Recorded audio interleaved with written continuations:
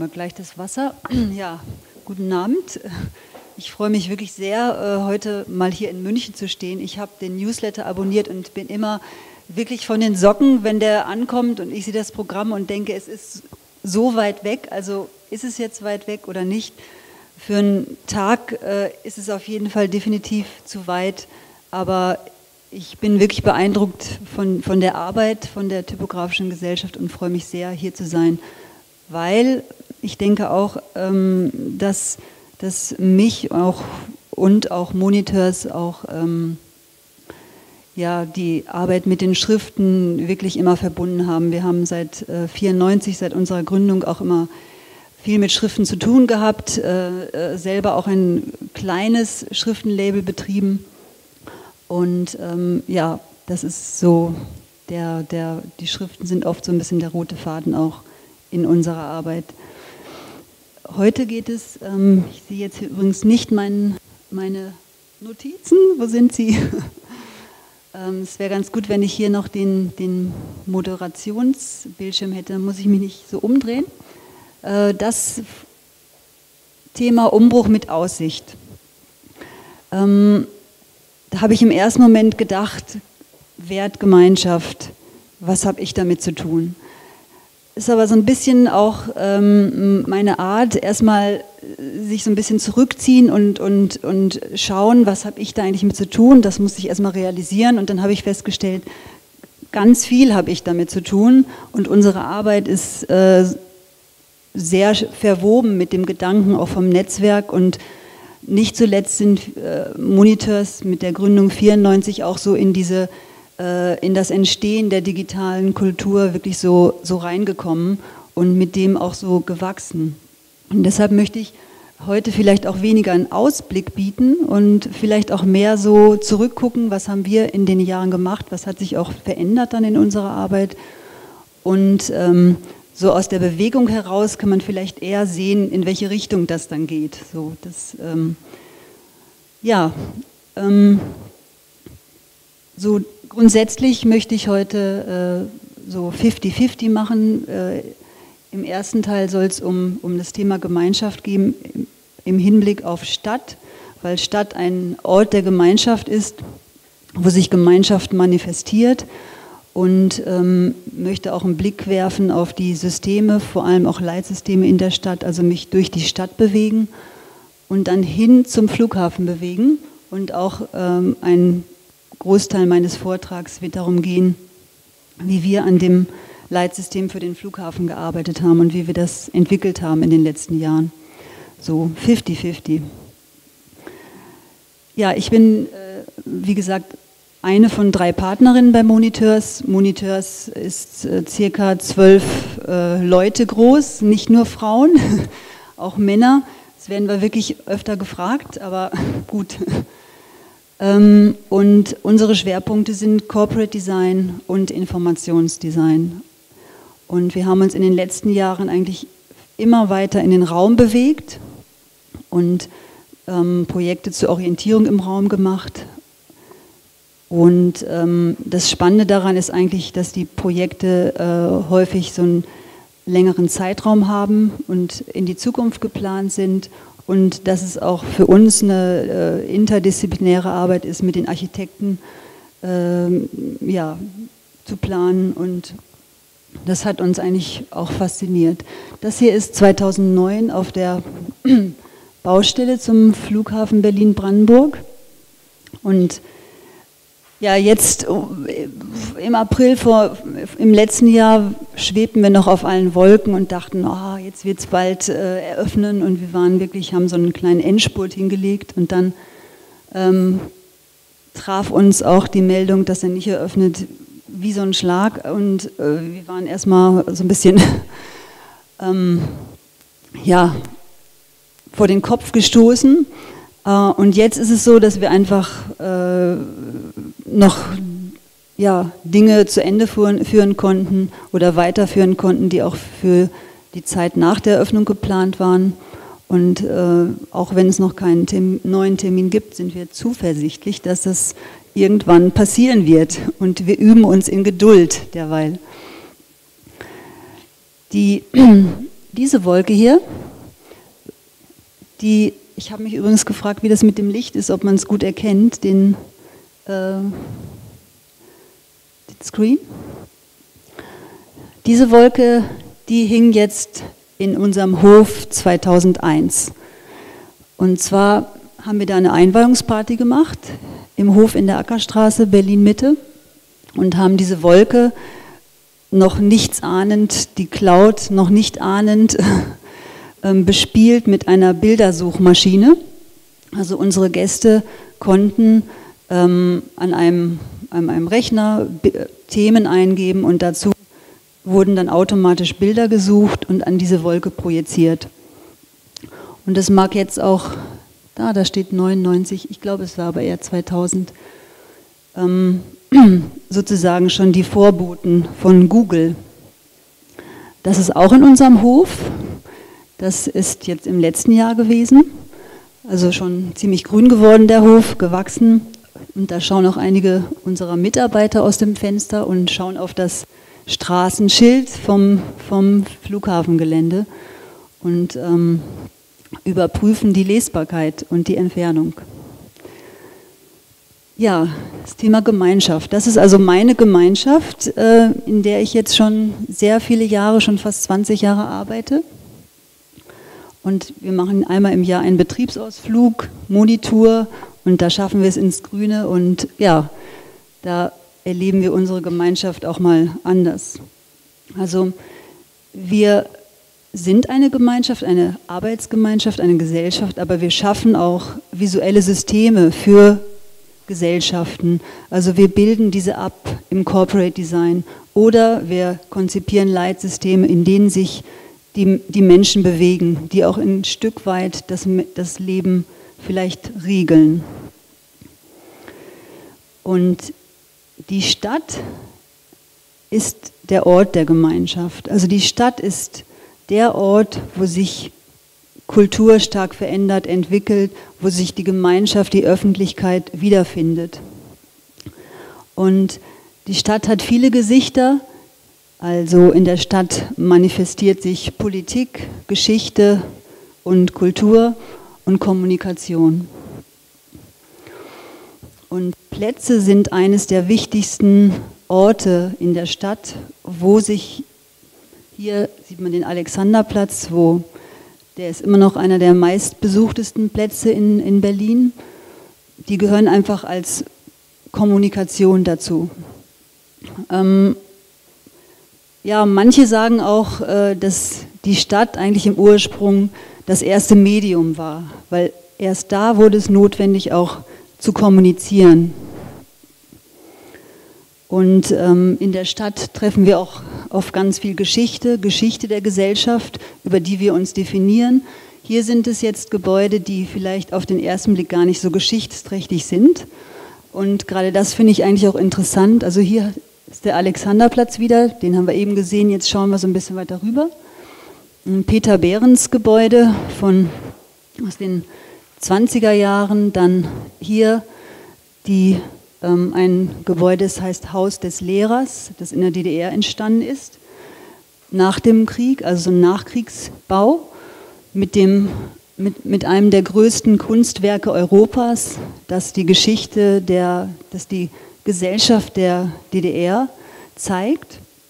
Und hier das erst 2007 errichtete Alexa, ein Einkaufszentrum, mm, dass es eben, ja, das finde ich interessant, dass in der Stadt halt so viel Geschichte und verschiedene Kulturen zusammenkommen. Man muss sie halt nur entdecken und lesen. Also bei uns fällt es leicht bei dem Brandenburger Tor, aber bei den anderen Gebäuden ähm, macht es eigentlich fast noch mehr Spaß, auch genauer hinzugucken. Außer den Plätzen sind in den letzten Jahren auch die, die Verkehrsknotenpunkte wichtige Orte für Gemeinschaft geworden.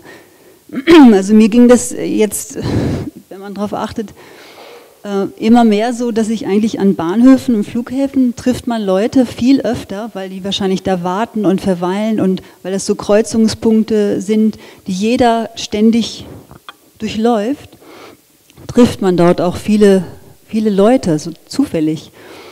Und ähm, für viele, also der Herr Auger meinte, Bahnhöfe, Flughäfen, Einkaufszentren sind eigentlich nicht Orte, weil sie, weil sie nur eine Funktion haben. Aber ich denke, das verändert sich gerade. Also diese Verkehrsknotenpunkte sind als Orte der Gemeinschaft immer wichtiger. Und hier nochmal der Bahnhof Zoo.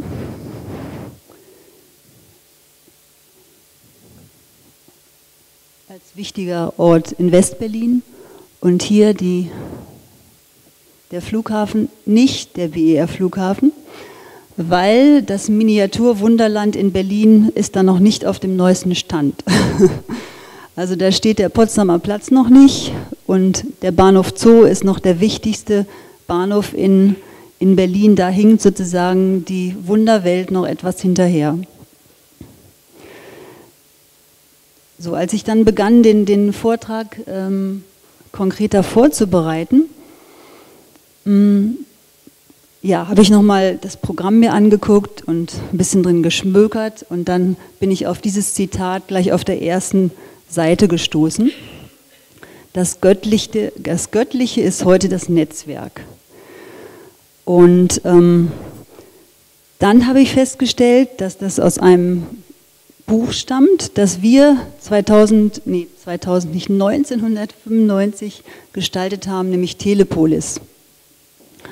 Ähm, Telepolis äh, ist eine, ein Symposium und eine Ausstellung gewesen zum Thema Vernetzung und digitale Kultur in der Stadt. Und 1995 haben wir das Erscheinungsbild für Telepolis gemacht und das fand ich einfach auch ein schönes Zusammentreffen oder ähm, ja, da war die Sache wieder so rund für mich ähm, und ich habe mich gefreut und dachte, ja, stimmt, ich habe ja ganz viel damit zu tun. Ähm, ja, das war das Erscheinungsbild. Ich kann hier nochmal eine Doppelseite aus dem Programm zeigen. Also wir haben hier auch mit Piktogrammen gearbeitet, als, auch als äh, ja, multikulturelle und globale Sprache, äh, Zeichensprache, die eben ohne Worte auskommt. Das hier ist die Straße, das Sinnbild für damals sagte man Datenautobahn, das sagt man heute irgendwie nicht mehr. Und äh, hier zum Beispiel die Gates, das sind die Schnittstellen zum Einstieg in die virtuelle Welt. Und so gab es sechs Piktogramme, die verschiedene Themenbereiche abgedeckt haben. Mm, ja, City, Stadt.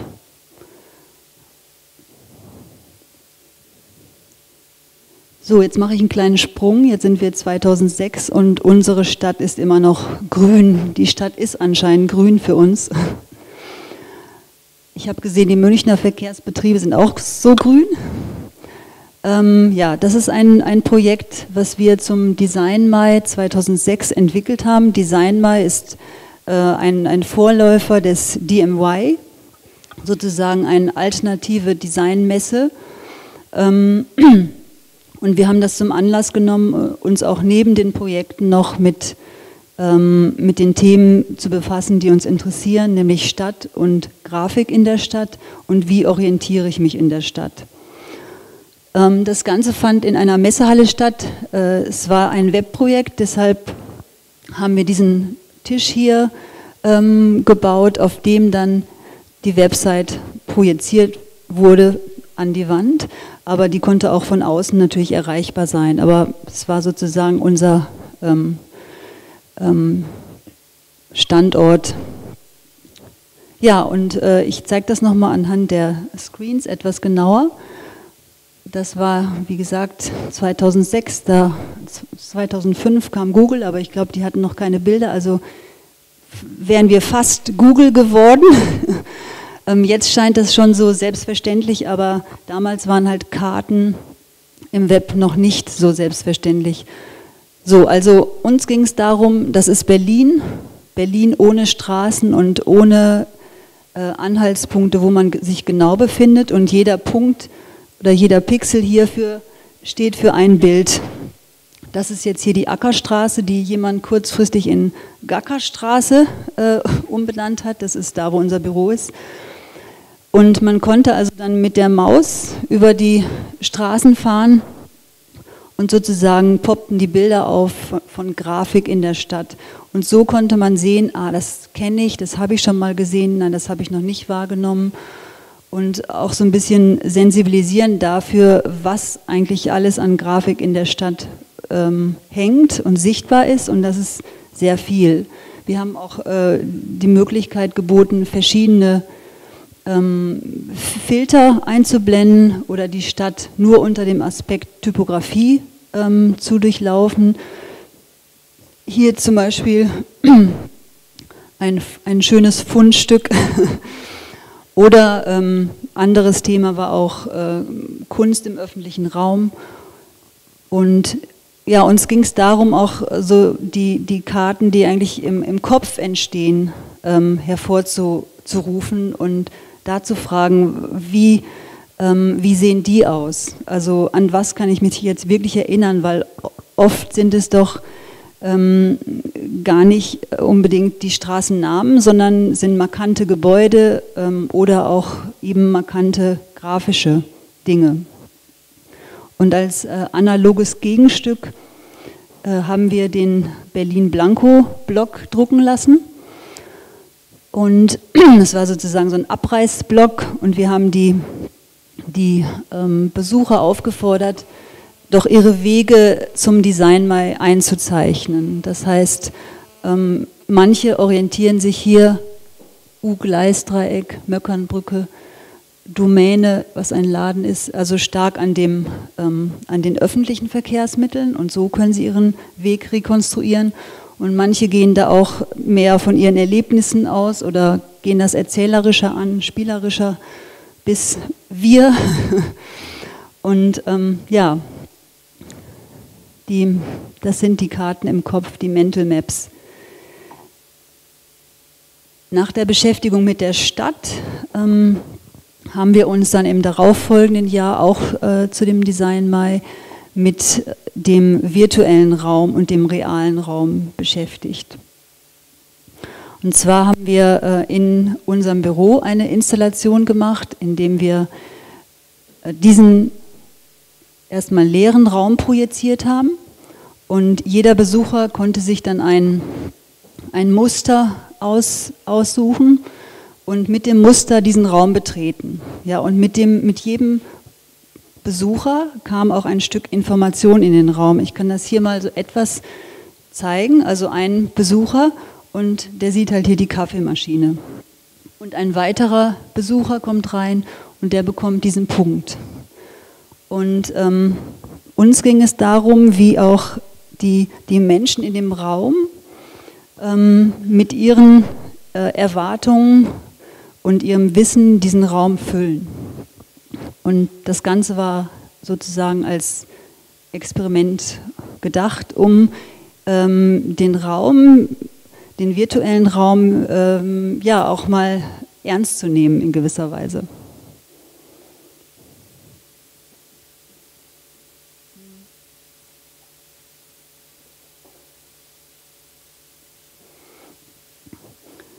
Auch heute noch ist die Stadt eigentlich so das Zentrum des Geschehens und da, wo am meisten passiert, wo sich am meisten ähm, entwickelt und entwickelt hat. Und das ist jetzt 2013.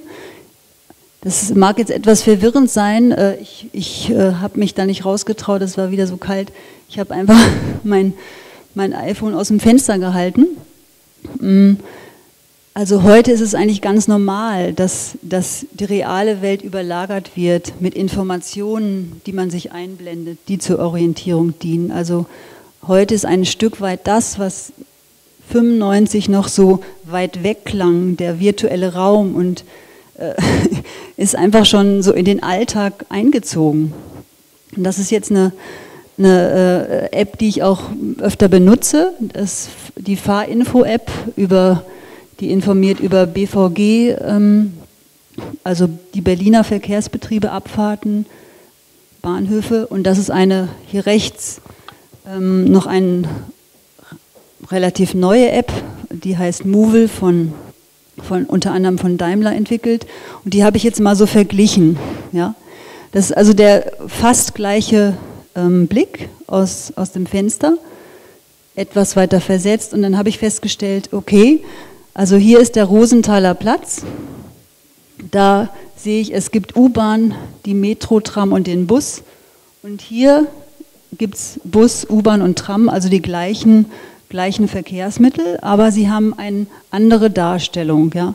Und dann dachte ich, wieso ist jetzt dieses Buspiktogramm plötzlich nicht mehr rund, wie ich das jetzt immer gewohnt war, sondern sechseckig? Und dann habe ich festgestellt, aha, das kommt wahrscheinlich aus Stuttgart, denn für Stuttgart wurde es ursprünglich entwickelt. Und sozusagen das System wurde einfach übergestülpt über Berlin. Und da äh, gehen natürlich so ein paar äh, bisschen Wissen verloren, sage ich mal. Und was ich auch interessant fand, ist, dass das sozusagen zwei andere Radien sind. Also hier habe ich nur so circa 300 Meter Radius und hier kann ich bis zum Hackischen Markt ähm, gehen, das ist ein Kilometer ungefähr, also einen ganz anderen Radius. Und hier wiederum werden mir noch andere Möglichkeiten, wie ich mich durch die Stadt bewegen kann, angeboten, nämlich mit dem Taxi. Hier sieht man nochmal das ähm, Leitsystem der Berliner Verkehrsbetriebe. Und ähm, als ich 90 nach Berlin gekommen bin, nach meinem Studium, habe ich bei Metadesign gearbeitet und ähm, hatte die Gelegenheit auch ähm, daran mitzuarbeiten. 90 Berlin Wiedervereinigung und die zwei Verkehrsbetriebe Ost und West mussten jetzt gemeinschaftlich zusammengeführt werden und haben eben ein neues System bekommen. Und da war eben dieses Piktogramm für Busse wieder lila. So, ähm, das ist im Berliner Hauptbahnhof.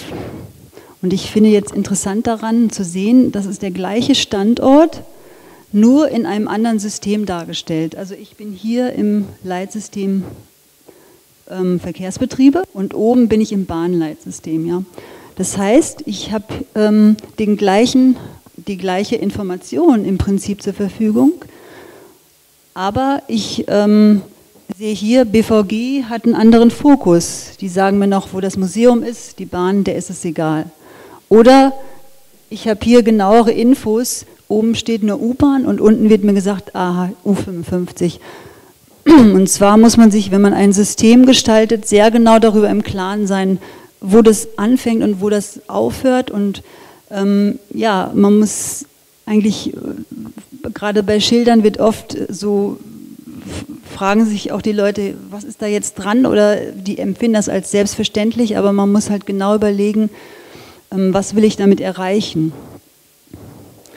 Das war ja nochmal auf 90, 1990 zurückzukommen, ein Modell vom, vom Berliner Alexanderplatz, ähm, das ich bauen durfte als Berufsanfänger.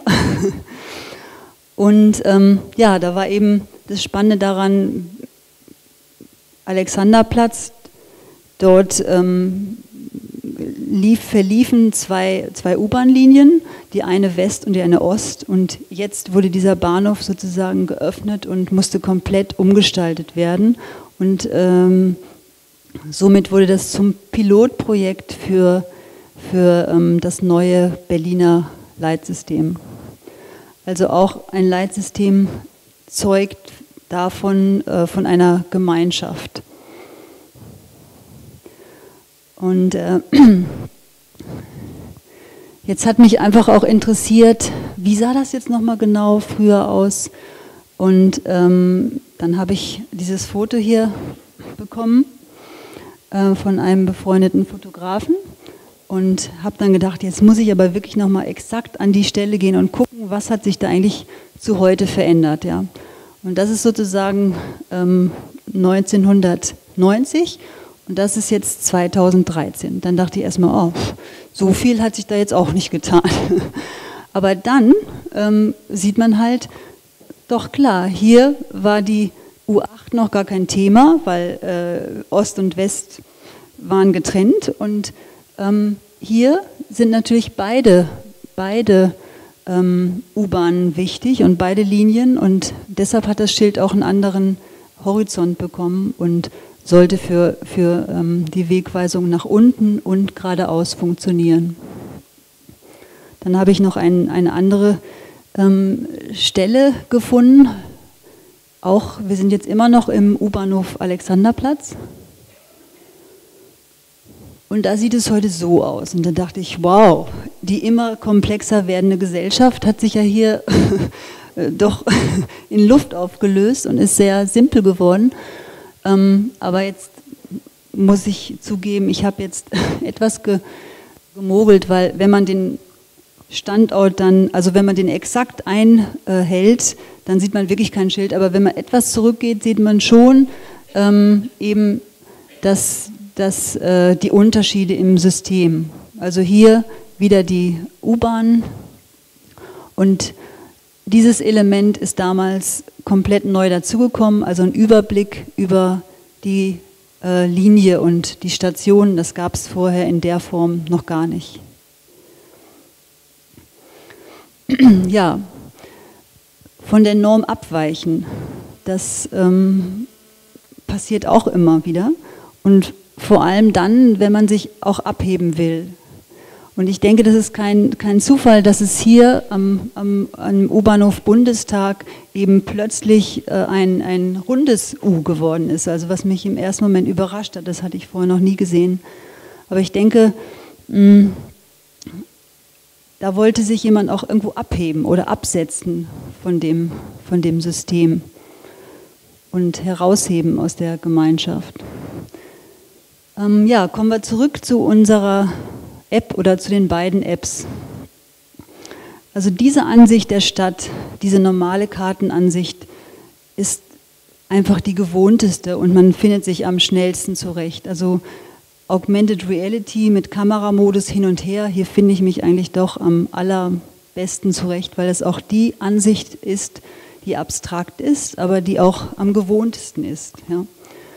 Und ähm, diese beiden Systeme verwenden die gleichen Karten, ähm, von, von Apple und eine andere App, die ich auch benutze für einen Carsharing-Service, ähm, unumgänglich, weil man muss ja die Autos auch wirklich finden. Ähm, die legt zumindest einen grünen Layer drüber. Ja? Äh, also die, die schafft mehr Identität, die Karten sind komplett austauschbar Manchmal geht es einem ja auch so, man schaut und weiß gar nicht, in welchem Programm bin ich jetzt eigentlich. Also dieses, ähm, diese Standardisierung bringt ja auch den Nachteil äh, der, der Austauschbarkeit und weniger Identität und weniger Orientierung auch. Ja? Und ich fand, das war eigentlich ein gutes, gut gelöst, hier mit Farbe auch zu sagen, ich bin jetzt hier und äh, trotzdem geht es nicht auf Kosten der Funktionalität. So eine, eine neue, eine andere abstrakte Darstellung der Stadt ähm, scheint sich für mich äh, auch durchzusetzen und das ist diese Balkendarstellung für, für die Verbindung. Und wenn man sich hier die beiden Apps anguckt, die gehen also ziemlich gleich damit um, ziemlich ähnlich damit um. Hier links wieder die ähm, Berliner Verkehrsbetriebe, natürlich nur Angebote aus ihrem äh, Sortiment sozusagen. Und hier habe ich ähm, noch den äh, Carsharing-Dienst oder Taxi, also den, die weitere, weitere Range sozusagen. Und ich würde die Behauptung aufstellen, dass eben diese Programme und Systeme auch ein Stück weit beeinflussen, wie ich mich durch eine Stadt bewege weil es ist alles eine Frage der Kommunikation. ähm, Im letzten Herbst ähm, haben wir im, äh, in Hangzhou in, in China an der äh, deutsch-chinesischen äh, Akademie äh, unterrichtet. Und da war jetzt ein Student, ein Masterstudent, der hat eine ähnliche App für Shanghai gestaltet. Und äh, also der, wir mussten etwas schmunzeln, weil der war vorher in, in Berlin gewesen, das gehört zu dem Austauschprogramm dazu. Und uns schien es auch so, dass so ein Stück Design da exportiert wird, ja. Was, was ja auch toll ist, was irgendwie gut ist, aber was natürlich auch dazu führt, dass der, äh, der Geschmack homogenisiert wird und einfach weltweit rührt man einmal um und ähm, ja, es wird, wird äh, internationaler, globaler, aber auch vielleicht dann austauschbarer.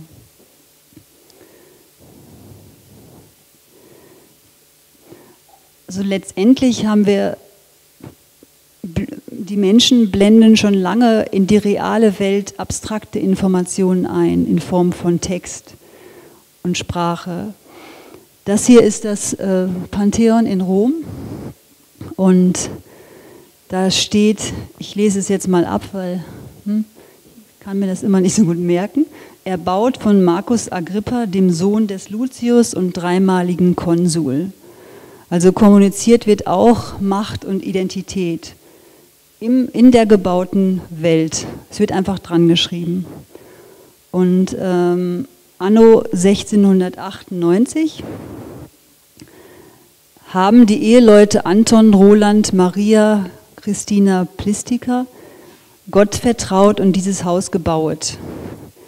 Also hier werden Informationen nicht für, für wenige Sekunden nur eingeblendet, sondern die stehen Jahrhunderte an dem Haus und schaffen so, manifestieren auch so die, die Geschichte und die Identität dieser Erbauer und der Eheleute. Und in der Moderne hm, wurde das Bewusstsein für, Orientier für die Notwendigkeit von Orientierung dann größer. Die Beschriftung des Hauses ist auch zu, einem, zu einer Marke geradezu geworden. Das ist in Dessau. Dieses Bild hier habe ich in Weimar gemacht. Ähm, das ist, ja, Bauhaus heißt es oft auch, dass es so die, die Pioniere auch im Hinblick auf, auf Leitsysteme in öffentlichen Gebäuden äh, waren. Und was ich hier auffällig finde, ist, dass, dass sie das eben sehr stark integriert haben in die Farbgestaltung. Also es wird nicht ein Schild hingehängt, hier geht es zum Sekretariat, sondern die, die Beschriftung des Gebäudes äh, war auch Bestandteil der, der Farbgestaltung und ähm, wird hier so stark gestalterisch einfach aufgegriffen. So 20er Jahre, jetzt auch so um den Dreh, so ein bisschen eher zehn Jahre früher, werden die ersten internationalen Verkehrszeichen entwickelt. Und das waren, das waren eigentlich äh, Gefahrenzeichen, also Hinweise auf, auf gefährliche Situationen. Mm. Und der Verkehr ist stärker geworden. Es gab viele neue Bahnlinien, Autoverkehr und da war das halt notwendig. Und da war auch der, ähm, der Wille da, sowas international auch auf Russisch ähm, zu verabreden. Man sagt, dass, dass äh, Systeme gut sind, wenn sie intuitiv funktionieren. Und intuitiv heißt ja oft, äh, denkt man oft, ist, ist wie natürlich oder, oder an, angeboren geradezu, aber in Wirklichkeit sind es auch gelernte Systeme. Gelernte Systeme wie die Verkehrszeichen, die wir halt von wir können uns ja die Straßen ohne diese Zeichen gar nicht mehr vorstellen. Aber sie sind nicht unbedingt die absolut logischen Systeme. Also die runde Form sagt erstmal nichts. Nur die Farbe ist entscheidend, was dieses Zeichen bedeutet. Also in dem linken Fall ist es ein Gebot und in dem rechten Fall eben ein Verbot. Und äh, diese Situation die ähm, ist, ist dann schon eben etwas kurios. Also da haben wir jetzt die komplexe Umwelt, glaube ich, weil also in Kombination jetzt von Form und Farbe und Motiv ist es jetzt äh, komplett verwirrend. Und äh, in dem Fall wäre es sicher besser gewesen, vielleicht nur das Gebot äh, dran zu schreiben und dann hätte man eindeutig auch gleich das richtige Loch getroffen. Ja. Ähm, ja, also Systeme bestimmen unseren Alltag und sie regeln nicht nur den Verkehr, sondern sie regeln auch, wie wir als Gemeinschaft zusammenleben. Planetensystem vielleicht mal außen vor gelassen, aber äh, Regierungssystem, Schriftsystem, die beeinflussen ähm, stark, wie wir denken. Und deshalb ähm, kommen wir vielleicht auch auf die, auf die ähm, Macht der Gestalter, die eben auch diese Systeme gestalten. Also Systeme werden konzipiert und erdacht und gestaltet. Und das ähm, muss man sich alles sehr gut überlegen. ähm, das ist mein Schreibtisch. Circa, oh, jetzt komme ich wirklich ins, ist jetzt kein echter Screenshot von mir, den habe ich gefunden, aber ich kenne ihn noch so, den Schreibtisch. Ähm, 90er, Anfang 90er und so sieht er heute aus. Und dann denkt man wieder, naja, so viel ist dann jetzt auch nicht passiert. Äh, es gibt noch den Rechner und, und äh, ja, und äh, gerade bei dem, bei dem Desktop, Desktop ähm, der so in Fleisch und Blut übergegangen ist, ähm, wird einem halt gar nicht mehr bewusst, ähm, ja, wie sehr ein der Alltag auch durch Systeme geprägt ist. Was ist es eigentlich, äh, ein System? Ein System ist ein Gebilde, das Zusammengestellte, das Verbundene. Gut.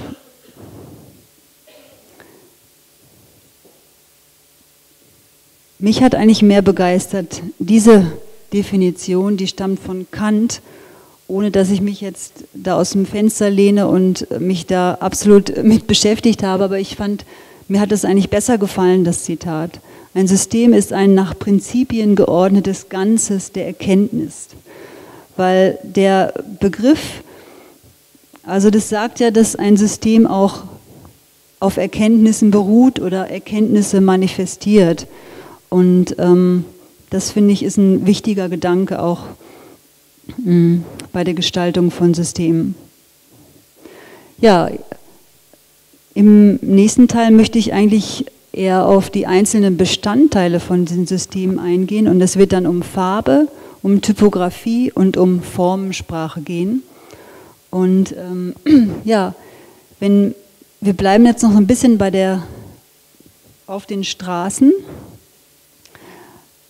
Also die Verkehrszeichen wurden verabredet international standardisiert. Da sagt keiner, nee, ich will jetzt ein anderes Stoppschild. Aber bei, den Richtungs-, bei der richtungsweisenden Beschilderung sieht es dann schon anders aus. Da will jedes Land auch sagen, naja, äh, die in London fühlen sich eben eher grün und also da beginnt eigentlich so der, der äh, Abgrenzungsprozess und ich, ähm, das hat uns jetzt in der Arbeit auch auch vor allem am Flughafen, auch immer wieder beschäftigt.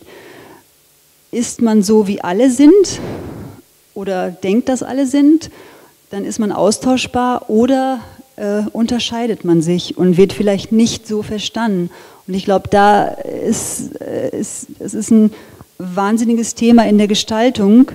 Ähm, wie standardisiert bin ich und wie äh, weiche ich oder wann kann ich auch davon abweichen?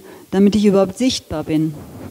Und also links ist, ist London, das rechts äh, ist Dänemark. Das ist wahrscheinlich nicht allen so geläufig. Ich fand es interessant, dass die eben auch rote, äh, rot auf weiß Beschilderung haben, wie, am, wie, wie wir auch im Flughafen haben. Das ist Österreich, schon mit der neuen Schrift von Erik Spiekermann. Aber Schrift ist ja im Moment noch nicht unser Thema. Und das ist eben nicht Deutschland, sondern das ist Slowenien und im ersten Moment dachte man natürlich, das ist Deutschland durch die gelbe Farbe. Ja, und hier soll man halt gleich merken, dass man am Flughafen ist. ähm, am Flughafen äh, nähert man sich ja über, kommt man von der Autobahn, dann fährt man auf das Terminal zu und da gibt es eben ganz klar einen Punkt, wo jetzt klar ist, jetzt bin ich am Flughafen. Und das ist halt von, von der Systematik her so ein Hybrid aus Straßenbeschilderung und aus dem System, aus dem Leitsystem vom, vom Terminal. Also wir haben hier auch die Farbe Rot. Ich gebe zu, sehr dunkel ausgefallen, aber ähm, es ist dann Rot. Und ähm, wir haben auch die Schrift und die Piktogramme. Dazu möchte ich Rot, Berlin und Brandenburg, Rot. Ähm, und wir haben auch die äh, Schrift, den Corporate Font vom Berliner Flughafen und die Piktogrammfamilie. Zu der Entwicklung oder Entstehung möchte ich später noch was, was sagen. Also Layout und ähm, Typen sind von der wegweisen, wegweisenden Beschilderung ähm, übernommen und sozusagen ein sanfter Übergang in die Flughafenwelt geschaffen. Denn am Flughafen hat man es eigentlich mit vielen Systemen zu tun. Ähm, hier die Straßenschilder haben wir schon gesehen, dann fährt man hier sozusagen rein, dann kommt man in die Airport City, ein ähm, Begriff, der, ich weiß nicht, ob er jetzt Ihnen geläufig ist, ich habe den jetzt so viele Jahre schon gehört, aber letztens hatten wir einen Workshop mit Studenten und die sollten ein Piktogramm für die Airport City gestalten und die, das hat denen gar nichts gesagt, was es ist. Also es ist äh, einfach der, der, der Stadt, Gewerbe, Hotel, alles das, was um einen Flughafen herum als äh, quasi Stadt auch entsteht. Dann ähm, Parkhäuser und das Leitsystem im Terminal. Und das war für uns am Flughafen ein sehr, sehr großes Thema auch die ganzen Systeme zu koordinieren, ja, weil das sind andere Abteilungen, andere Bereiche. Und äh, es klingt vielleicht äh, einfach, aber es ist auch wichtig, dass die Zielpunkte, die man dann im Terminal auf den Schildern hat, auch außen weitergeführt werden, ja, dass auch die richtigen Piktogramme verwendet werden, dass die, die äh, Systematik aufgegriffen wird, abgesehen von der Farbe Rot, die ähm, offensichtlich äh, weitergeführt wird, gibt es ganz viele Stellen, wo man halt so ein System dann andocken muss an, an das nächste. Also jetzt befinden wir uns in der Airport City. Ähm, hier ist unser Standort. Ähm, das Kartenmaterial haben wir auch ähm, entwickelt. Das ist ein, eine, ähm, ein Plan von einer Außenstele. Also wir sind jetzt hier am Willy-Brandt-Platz und gucken jetzt gleich, hier kommt nochmal der Plan auf der Stele und gucken jetzt in die Airport City. Aber das ist die Airport City von wie Le Corbusier sie gesehen hat, 1920. Also er fand, dass, dass die Schönheit des Flughafens in der Kraft der weiten offenen Fläche lag und wollte den Flughafen aufs Land bauen und eine Stadt drumherum entstehen lassen. Und das ist im Prinzip das, was auch jetzt in, in, an vielen Orten eingetreten ist, dass einfach der Flughafen, der stadtnahe Flughafen nicht mehr geht. Zu, zu laut, zu gefährlich, kein Platz. Und dass einfach die Flughäfen außerhalb gebaut werden und drumherum neue Städte entstehen. Das ist eigentlich eine sehr alte Vorstellung ähm, von Flughafen.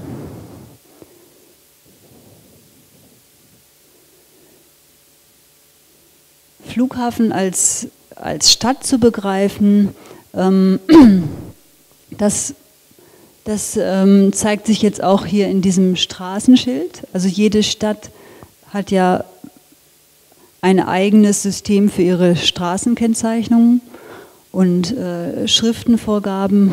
Und am Berliner Flughafen werden die jetzt so aussehen. Also die stehen schon, aber er hat ja noch nicht eröffnet, ich weiß. Ähm, und sie greifen eben außer der Farbigkeit auch die Formensprache, die wir äh, für ähm, das Terminal entwickelt haben, auf. Also das können wir nachher noch sehen an dem Eckpanel. Also es wurde ein komplett neuer, neues Straßenschild entwickelt und dazu im gleichen System auch die wegweisende Beschilderung zu, zum Terminal, zum Infotower, zum Besucherzentrum zu den Parkhäusern.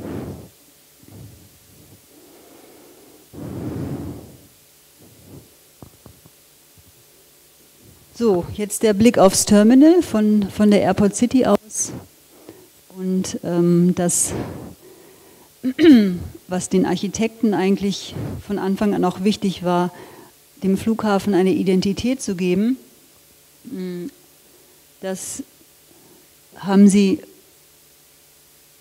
so gelöst, indem sie die, die Architektursprache von Berlin aufgegriffen haben. Also die Architektur in Berlin wird stark geprägt durch, durch die Bauten von Schinkel. Hat sehr viel seiner wichtigen Gebäude sind in Berlin entstanden. Und das hier ist das alte Museum. Aber auch andere Bauwerke wie das äh, Museum, die Nationalgalerie von, von Mies van der Rohe haben eben diese Gradlinigkeit, dieses große Dach, diese, ähm, ja, und das ist eingeflossen in das Architekturkonzept vom Flughafen und wurde aufgegriffen und ja, soll diesen Flughafen auch verorten. Das Dach.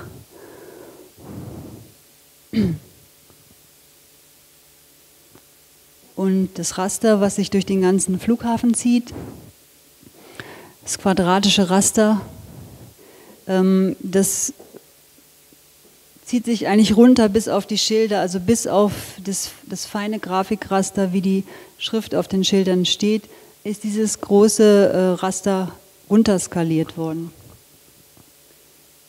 Diese linearen Strukturen, die finden wir auch in den brandenburgischen Kiefernwäldern. Und ähm, ja, wir haben das äh, abstrakt übersetzt in diese linearen Strukturen, die wir auch funktional nutzen. Also durch die unterschiedliche Dichte schaffen wir verschiedene Tonwerte und die nutzen wir, um bestimmte Informationen damit zu kodieren, ohne bunt zu werden, ohne jetzt eine Farbpalette aufzumachen und weil Farbpaletten haben so ein bisschen das Problem, dass, dass sie immer an ihre Grenzen stoßen und wenn dann noch eine neue U-Bahn-Linie dazukommt, wie die U55, dann kriegt die halt nur noch so ein beige-braun, weil alle Farben schon vergeben sind.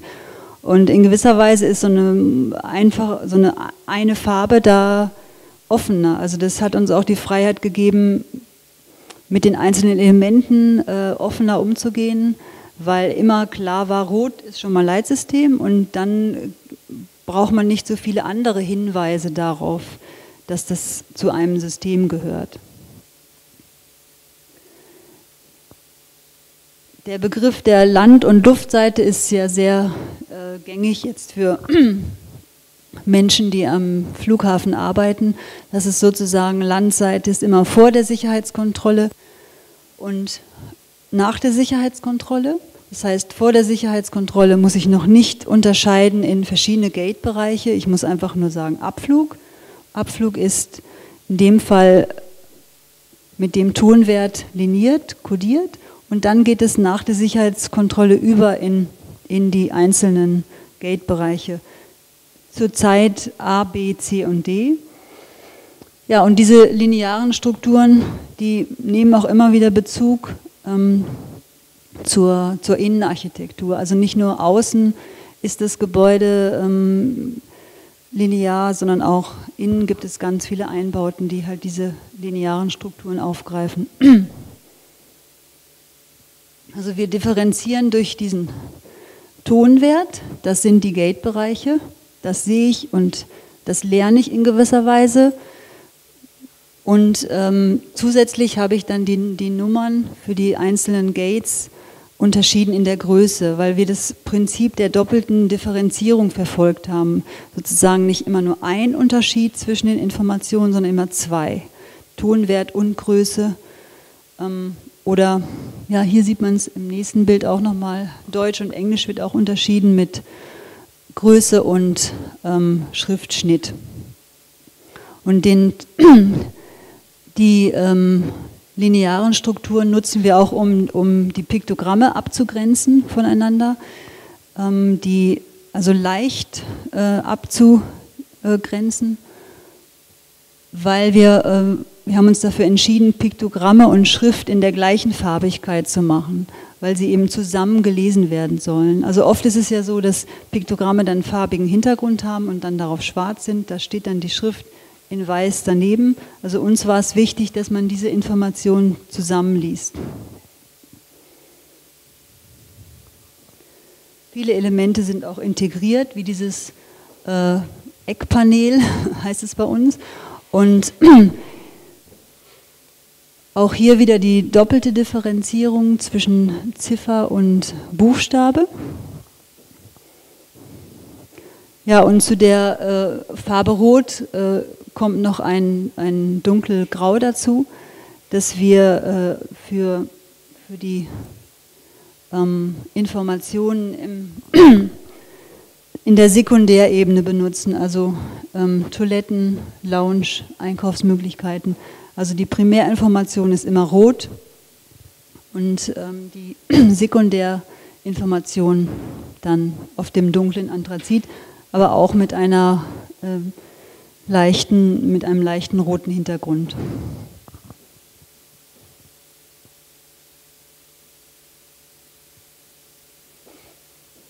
So, jetzt möchte ich noch mal einen kleinen Ausflug machen so in die grafische Entwicklung weil, wie gesagt, 2005 äh, ging das Projekt für uns los. Da haben wir ein erstes ähm, Gestaltungshandbuch erstellt und wirklich nur so grobe, ganz grobe ähm,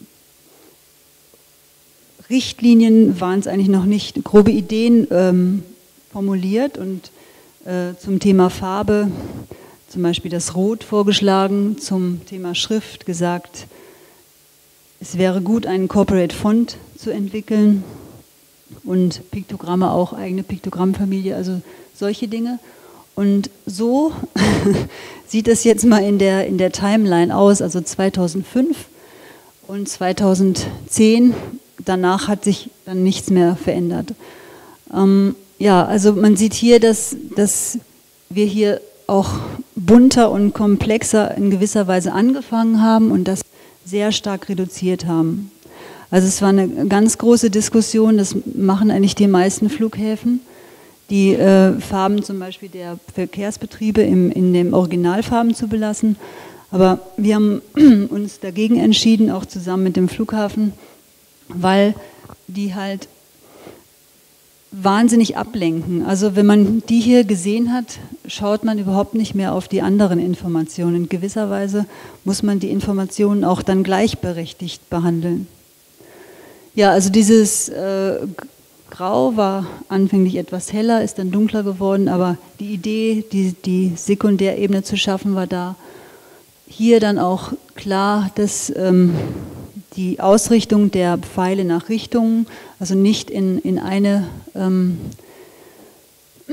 Ebene wie hier zu stellen, sondern auch durch, durch diese äh, Ausrichtung in die Richtung schon auch intuitiv zu leiten. Ja, so sah das aus in den letzten Jahren. In einigen Bereichen verlassen wir auch das Schild und gehen direkt an die Wand. Das hat zum einen auch Kostengründe, so, wobei äh, wir uns jetzt äh, nicht so schwer getan haben, auch mal groß an die Wand zu gehen. Wir fanden es eigentlich auch gut. Und ähm, das System der, der Farbe und der Schrift lässt es auch zu, durchaus solche ähm, Bereiche dann anders zu behandeln. Also das ist jetzt ein Bereich, der für Low-Cost-Carrier vorgesehen ist und deshalb nicht mit den teureren ähm, beleuchteten Schildern ausgestattet werden sollte. Und ähm, hier sieht man nochmal das äh, Thema ähm, Linien auch nochmal funktional als Durchlaufschutz umgesetzt oder auch als Schutz hier ähm, für die Wand oder als Wandgestaltung.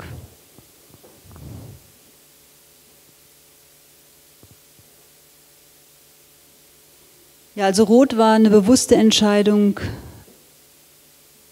die für Berlin und Brandenburg stehen sollte oder die die Identität äh, eben manifestieren sollte. Und in den 70er Jahren war das überhaupt noch kein Thema. Also da wollte man eigentlich alles gleich machen. Da wollte man eigentlich die ganze Welt möglichst gleich machen und jeden Flughafen gleich machen.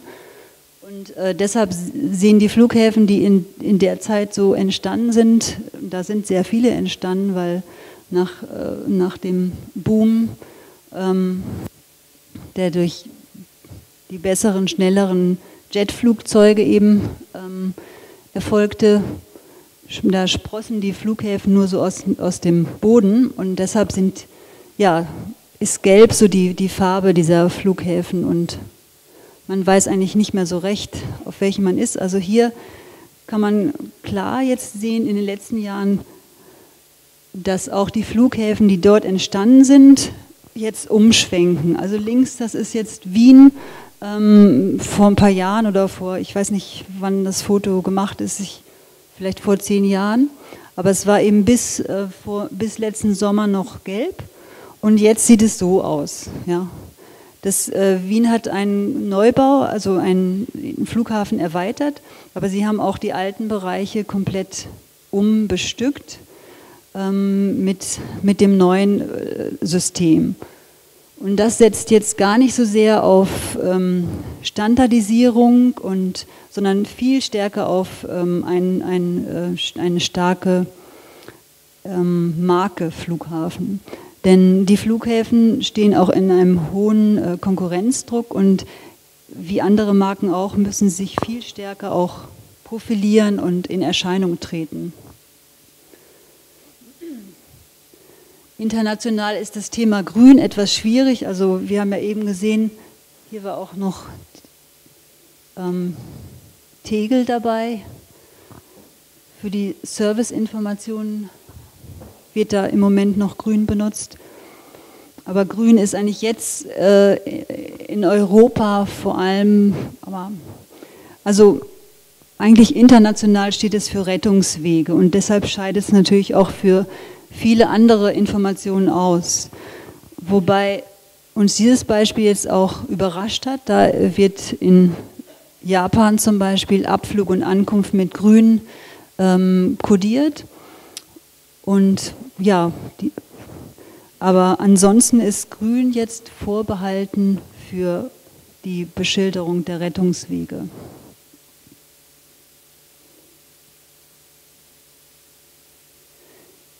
für, ähm, also Wien und Berlin sehen nicht umsonst auch so, so ähnlich aus. Ähm, denn das ist eigentlich, wurde in den, ich glaube, das war 68, 69, ähm, wurde wirklich dieses System der Piktogramme für, für die Flughäfen in Österreich und Deutschland ähm, entwickelt von, von ähm, Kapitzky und Krampen. Und äh, das ist jetzt hier das, das äh, Deckblatt von, von den Richtlinien, Piktogramme zur Orientierung auf Flughäfen, ganz allgemein. Und das sind jetzt zwei der Piktogramme, die aus, dem, aus diesem Regelwerk stammen. Und äh, ist jetzt vielleicht auch ein bisschen gemein, die zu nehmen, aber ich fand schon, dass man da, da äh, auch sieht, aus welcher Zeit die stammen, also ähm, dass Piktogrammen einfach auch Moden unterworfen sind. Und äh, Moden wie jetzt Pudel oder ja, Hunderassen, aber auch so Gewohnheiten der Menschen widerspiegeln. Also eine Flasche äh, sieht man jetzt auch schon würde man jetzt, ja, man sieht sie manchmal in Verbindung auch mit, mit dem gewickelten Baby, aber doch das gewickelte Baby steht jetzt mehr im Vordergrund, weil eine Flasche äh, stillen ist einfach mehr äh, angesagt und die Flasche ist einfach verdrängt worden und deshalb steht sie auch nicht mehr als Piktogramm für ein Babycare-Room. Und bei, bei diesen Piktogrammen ist das sicher nicht so der Fall. Also Koffer ähm, und ähm, Informations-E-Bus, das ist alles äh, eigentlich vom Motiv her immer noch gleich, aber dennoch sieht man auch, auch da, dass sich die Formen, äh, dass die Formen nicht mehr ähm, ähm, zeitgemäß sind und dass sich auch die Verkehrsmittel verändert haben. Also die ähm, ADV-Piktogramme, waren dann nicht die einzigen 72 äh, kam dann noch Otto Eicher mit der Serie für, für München. Die war ja auch als Standard gedacht für, für die Olympischen Spiele. Also im, vier Jahre später wurden sie auch noch eingesetzt, aber im darauf folgenden Jahr waren sie dann vom Tisch. Also die Idee, mit einem einheitlichen System für die ganze Welt zu operieren, ist dann, oder für, für also alles zu vereinheitlichen, ist einfach auch äh, an Grenzen gestoßen. Ne? Also jeder will auch, äh, jedes Land will dann auch für, für, für die Olympischen Spiele eine eigene Identität entwickeln. Und ähm, wir denken eigentlich, dass es auch, auch richtig ist, so einen ähm, Ansatz zu verfolgen und nicht alles äh, gleich zu machen. Ja, 74 noch AIGA, ISO, alle ähm, in dem Dreh. Und zum Beispiel in, in, Charles de Gaulle bedienen die sich jetzt aus diesen ganzen äh, standardisierten Familien sozusagen, ähm, aus dem ganzen Laden bedienen die sich und setzen das so neu zusammen. Oder hier zum Beispiel ähm, nehmen sie das Auto ähm, von AIGA, aber machen dem größere Scheinwerfer. Also so leichte Modifikationen sind dann drin. Oder hier das haben sie gedacht, nee, also das ist nicht der TGV, ähm, sondern da, da müssen wir was ändern. So, das ist und das äh, Transferpiktogramm ist natürlich ein Thema, Transfer an Flughäfen, das erst auch ähm, viel später, nachdem diese ganzen Piktogrammfamilien entstanden sind, äh, wichtig geworden ist. Vorher gab es äh, das nicht, dass man da umsteigt ähm, großartig und deshalb ist es in kein Motiv, was vorher überhaupt schon aufgetaucht ist.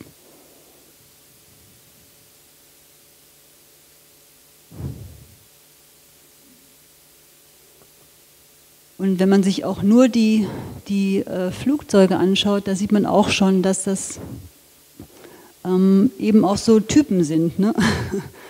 dass äh, auch nicht alle gleich sind. Und äh, das, das, das hören wir auch ganz oft wieso müsste denn was Neues entwickeln? Es gibt doch da die Familie und so. Und äh, dann ja, versuchen wir auch äh, ähm, jetzt auch unabhängig vom Flughafen andere Projekte, die, die Leute davon zu überzeugen, ja, aber ihr habt dann gar nicht das und das Motiv und es gibt keine Familie, die eigentlich alles abdeckt und ähm, macht doch einfach auch was, was Neues, was für euch maßgeschneidert ist und was zu euch passt. Ja, München eher noch ähm, früh Concorde-Zeit, also ein sehr schlankes Flugzeug. Und die äh, Köpfe an den ähm, Flughäfen sehen meistens so aus, rund. Und ähm, unsere Idee war es, die Köpfe am Berliner Flughafen ähm, wie ein O zu gestalten und ähm, so auch Schrift- und Piktogrammfamilie eng miteinander zu verweben. Das waren äh, viel, einige der Ideen, die wir in die Piktogrammfamilie eingebracht haben und die Familie wurde dann im Rahmen des Corporate Designs von, von Schindler-Perron nochmal überarbeitet, aber zum Beispiel diese Idee ähm, entstand ganz früh. Mittlerweile äh, gestalten wir auch die Piktogrammfamilie weiter, haben sie ausgebaut. Hier ein Sammelplatz, Piktogramme mit dem typischen Kopf, der ja, und Piktogramme sehen auch in den Ländern ganz unterschiedlich aus. Zum Beispiel in London, das kennt jeder, das kennen nicht so viele. Ich war auch noch nicht in Indien, aber das ist ein indisches Taxi und die äh, haben dann dieses Taxameter immer auf der Seite. Also das fließt alles äh, in die Gestaltung ein und schafft auch Identität.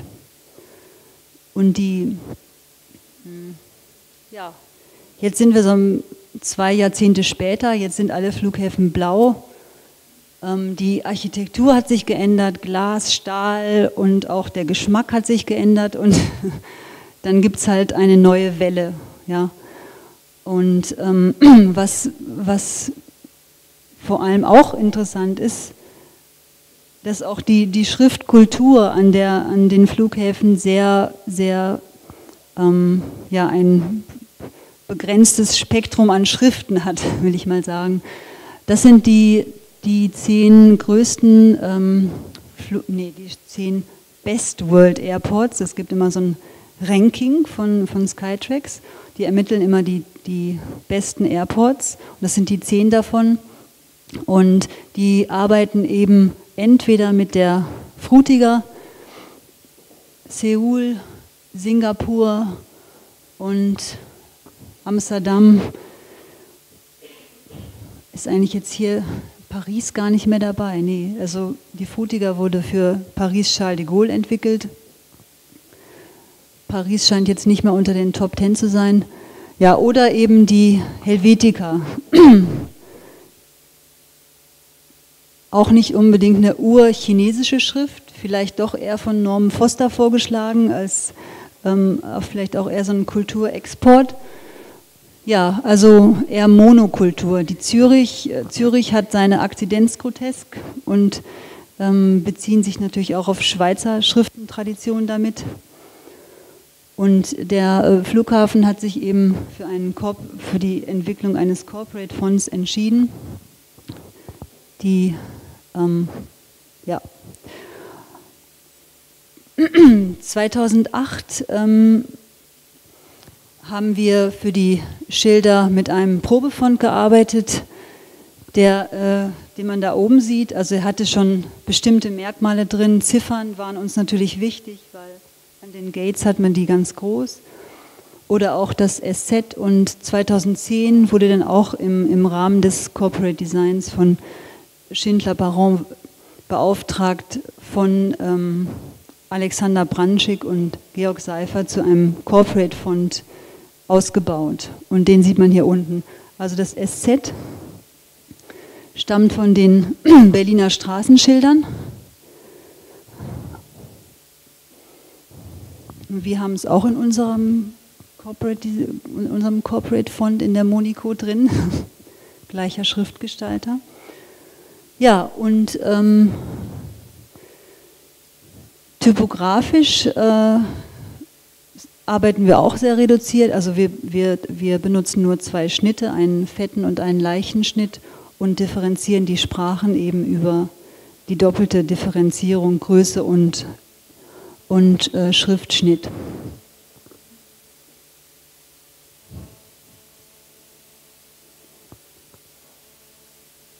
Schrift wird auch auf den Monitoren verwendet, aber da es ein Corporate Font ist, natürlich jetzt auch für, für alles, für die Pläne, für Drucksachen.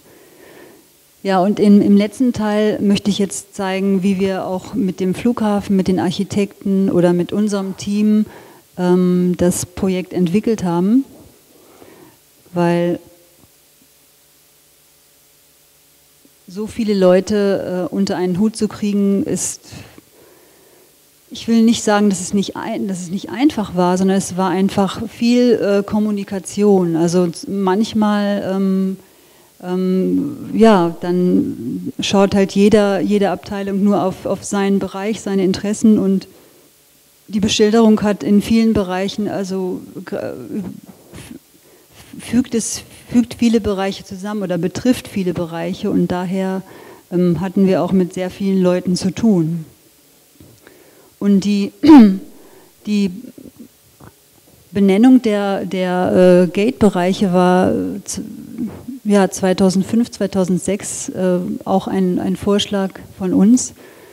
Das sind jetzt die, die gebauten, also hier sieht man das ähm, Terminaldach und davor den, den ähm, Willy Brandt-Platz, auf dem wir eben schon waren.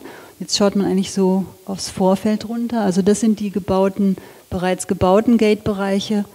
Und äh, wir haben vorgeschlagen, die so zu benennen, weil hier der entscheidende Punkt ist, wo, wo sich die Wege trennen, also der wichtigste Entscheidungspunkt. Und äh, hätte man zum Beispiel jetzt diese untere Ebene komplett in A benannt, hätte man immer an der Stelle sagen müssen, A 1 bis 10 links und A 11 bis 20 rechts.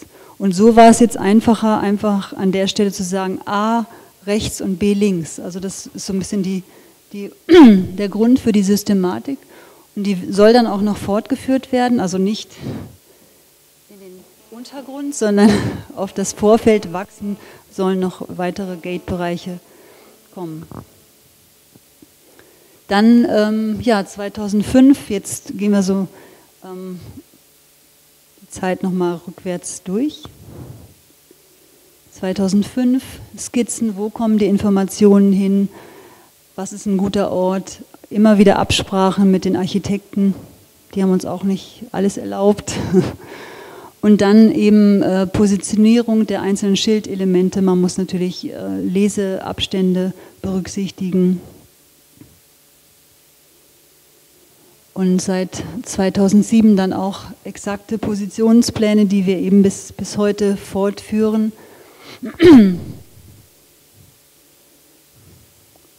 Und äh, erst ab 2009 konnten wir dann die Baustelle auch besichtigen und äh, zum ersten Mal auch die Entwürfe, die die Schilder im realen Raum sehen. Also was heißt jetzt real? Es ist schon auch schwer, sich das dann vorzustellen, aber man sieht zumindest eine Größendimension hier in dem Pier. Hat dann auch immer was leicht Skurriles, aber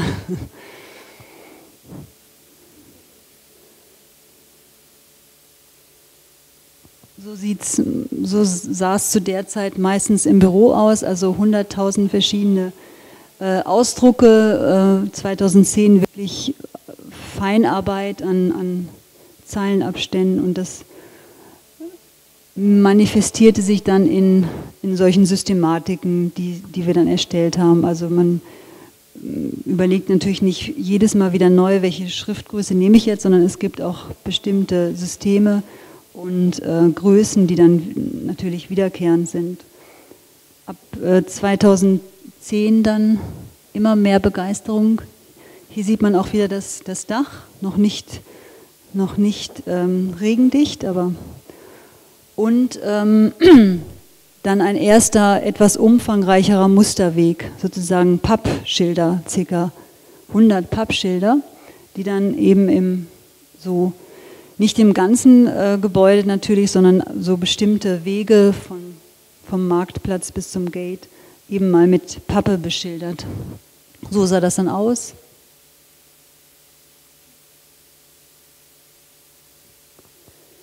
Hier sieht man nochmal die Gegenüberstellung von den großen Buchstaben auf den, also hier rechts, das ist ein großer Aufsteller und die wiederkehrende Gate-Bezeichnung dann am am Gate selbst.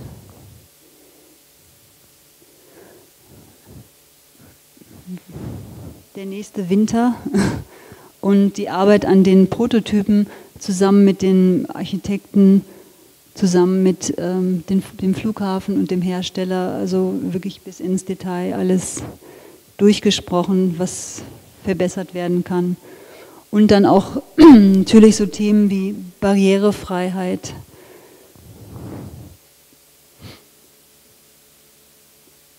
und ein Stück Flughafen in einer Musterhalle. Es gibt eine Halle, in der eben immer so einzelne Teile, eine Toilette, ein, ein äh, Gate-Bereich aufgebaut werden.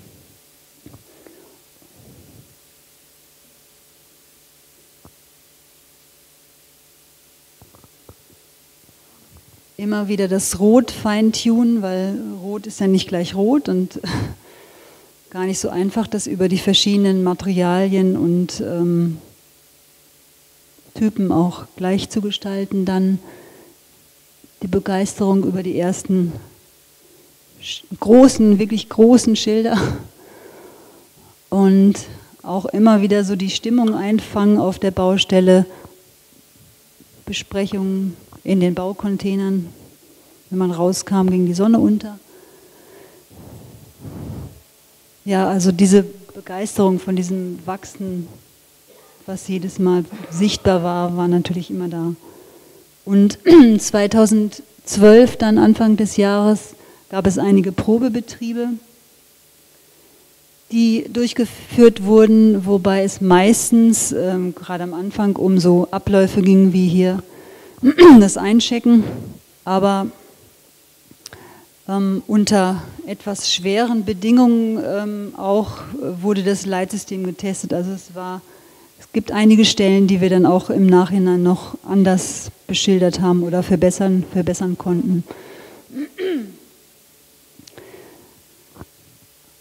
Die äh, Arbeit an den Plänen war eigentlich anfänglich ähm, dazu da, um die, die Mitarbeiterschulung zu, zu unterstützen, zu zeigen, wie bewege ich mich eigentlich in dem Gebäude ähm, und zwar jetzt nicht für Passagiere, die nach den Schildern gehen können, sondern auch ähm, Abkürzungen sozusagen. Und äh, ja, Pläne für, für ganz unterschiedliche Bereiche, Shopping, das ist der Marktplatz, den Geschäften oder auch ganze Terminalübersichten. Ja, und so sieht es äh, zurzeit jetzt aus. Ähm, und ähm, ja, die, die Beschilderung steht und ist fertig, aber offensichtlich gibt es noch andere Probleme. Deshalb äh, sind die Schilder wieder eingepackt worden und also ja, werden geschützt und wir hoffen eigentlich, dass es dann bald auch ein großes Auspacken gibt. Im Moment ist er sozusagen auf Eis gelegt und ähm, wir hoffen aber, dass es dann bald sich der Knoten löst und ähm, wir den Flughafen auch mal in Aktion sehen. Denn er wird ja auch ein wichtiger Teil für, für ähm, die Stadt sein und die Stadt auch nochmal wirklich nach außen erweitern. Gut, also das war's von meiner Seite.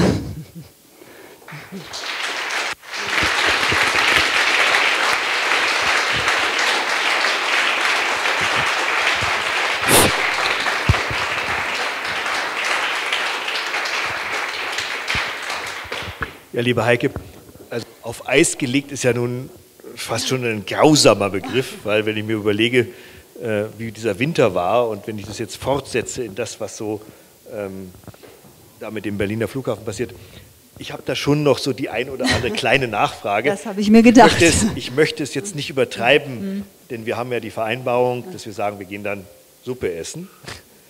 Aber zwei, drei Fragen seien mir noch erlaubt. Mhm. Wenn Sie auch noch eine haben hier auf der Bühne, sei es natürlich auch erlaubt wobei den Hauptteil machen wir dann drüben. Ich gestehe, dass natürlich diese Flughafenthematik unglaublich spannend ist, weil es gibt so ein paar Dinge, die sich Designer ja nun wirklich wünschen. Mal eine richtig tolle Zeitschrift machen, das beste Logo aller Zeiten und ein Orientierungssystem, was wirklich Wege weist also so drei schöne Beispiele. Es gibt vielleicht noch den einen oder anderen Bereich, aber wären so drei schöne Momente. Ähm, jetzt ist Berlin-Brandenburg natürlich eine herausragende Aufgabenstellung und ich sage es ganz unumwunden, ich finde es toll, was ihr gemacht habt. Über das Rot kann man streiten, ob es jetzt ein bisschen heller oder dunkler sein muss, äh, oder wie viele Striche das sind. So. Da können wir ja wunderbar durch, da, da, drüben dann drüber reden, wie bei Kartoffelsuppe. Ähm, aber ich stelle mir irgendwie vor, es muss schon ganz schön grausam sein. Das ist so eine ganz persönliche Frage. Und wenn du nicht antworten willst, ist auch okay. Aber es muss schon ganz schön grausam sein, wenn man dann irgendwie plötzlich in einen Trubel von politischen und planerischen Katastrophen gerät. Und das, was man gemacht hat, irgendwie, also in meiner Warnung, das einzig Gute an diesem Flughafen noch ist. Ähm, also ich sag, das steht ich noch nicht toll. auf dieser Hund, äh, langen Mängelliste drauf, auf jeden Fall, ja. Äh, jetzt ganz persönlich, mhm. wie geht es euch damit? Was, was, was sind es für Begegnungen, die ihr plötzlich habt mit Kunden, die jetzt nicht der Berliner Flughafen sind? Äh, was macht das mit euch? Darf, darf ich das fragen? Ja, ja, doch. Ich, ich finde das auch ganz, ganz schön, dass du das äh, fragst. Also erstmal, das hatte ich ja vorhin schon erwähnt, standen wir so ein bisschen unter Schock also man muss sich vorstellen, wirklich so ein, so ein Endspurt und auch ein bisschen am Ende der Kräfte. Und dann haben wir das eigentlich schon so gesehen, dass wir natürlich Zeit gewonnen haben, auch noch was zu optimieren, noch mal besser zu machen. Und da haben wir uns ein bisschen drauf gestürzt. Also eine aber, kleine Ersatzhandlung. Ja, so ein, okay. so ein aber ich muss schon zugeben, dass das für äh, einfach so noch ein ungeborenes Kind in gewisser Weise ist. Es ist fertig und ähm, es hat aber noch nicht die Feuerprobe bestanden, sozusagen. Die Massen laufen noch nicht dadurch, die Millionen Passagiere und es ist einfach noch nicht richtig da, würde ich sagen. Ne? Es ist noch immer so, noch nicht wirklich präsent. Aber ich denke, das, das, das, es wird sich noch, noch ähm, ich habe auch schon so ein bisschen Schiss davor, wenn halt jeder, den ich kenne, der da bestimmt irgendwann mal hinkommt, sagt, ach du, übrigens da, da habe ich also das echt nicht gut gefunden und, und könnte nicht da nochmal. Also das ist so ein bisschen der, die, der, die Angst, die ich dann äh, im Moment noch habe, weil, weil so viele Leute werden da sein und äh, jeder zu, zu schildern und den, den, den Weg nicht gefunden haben. Ich glaube, das ist auch jedem schon mal passiert. Das wird auch passieren. Äh, man ist da hektisch, panisch und ähm, ja, ich, ich, ich denke, da wird noch viel kommen, so viel Input von, von Bekannten, von Freunden kommen. Und ich denke, den müssen wir dann auch noch bewältigen. Weil ich glaube, man muss sich auch nichts vormachen. Es ist auch nicht ganz äh, abgeschlossen. So ein System wird auch immer optimiert und da muss man dran weiterdrehen. Also das ist, ist auch ganz klar unser Ziel, da, da weiterzumachen. Das ist ein bisschen ähm, wie eine Sucht. Okay, Sucht ist ja sehr schön als Thema. Ähm, äh, ich habe tatsächlich, und vielleicht habe ich nicht genug, gut genug zugehört, aber es sei mir trotzdem die Frage erlaubt, ich habe nicht ganz verstanden, warum es rot geworden ist. Ähm, also ich habe verstanden, dass es anders ist als gelb oder blau.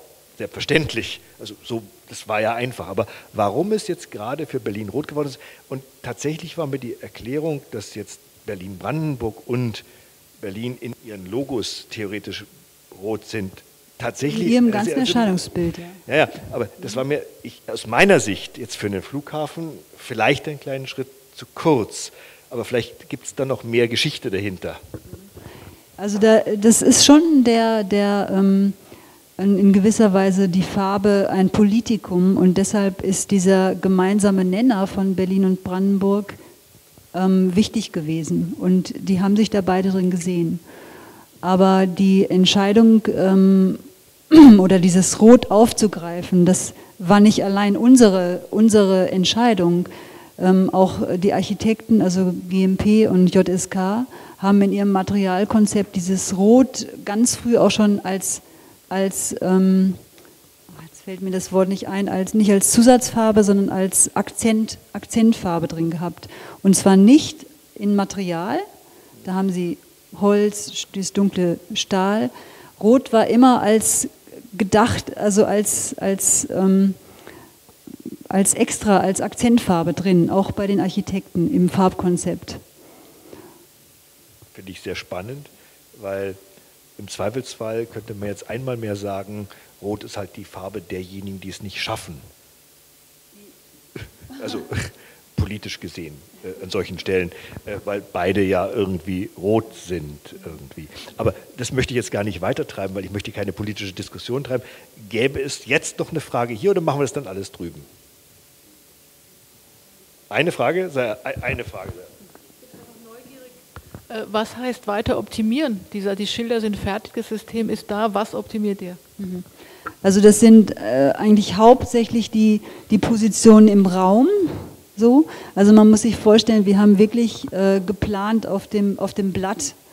Und ähm, es ist dann einfach, wenn man sich im Raum bewegt, dann gibt es noch Unterzüge, die tiefer sind als die Schilder, die Deckenschilder, die da hinten hängen. Also es sind eher viele so, so Positionen äh, im du meinst Raum. Planungsfehler? Ja. Menschliche.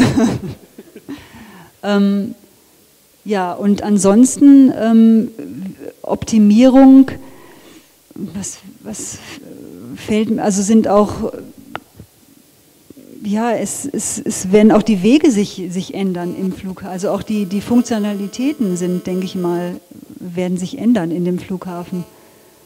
Ich habe mal, darf ich das gleich kurz aufgreifen? Ich habe mal irgendein Interview mit einem dieser großen Flughafenbosse gelesen und da stand drin, wenn ein Flughafen nicht baut, ist er bereits tot.